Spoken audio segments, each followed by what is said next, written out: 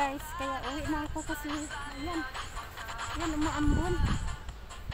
Hindi pwede. Ang hirap magtrabaho sa taglamig. Ang daming suot-suot. Mabigatan ako sa suot ko, hindi sa trabaho. ano ba yan? Ay, uwi na ako muna.